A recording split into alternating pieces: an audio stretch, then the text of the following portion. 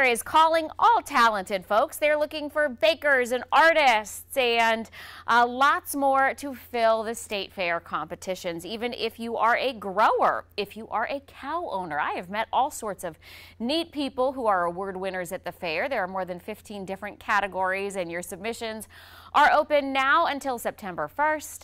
According to the state fair, more than $300,000 is going to be given out in prize money.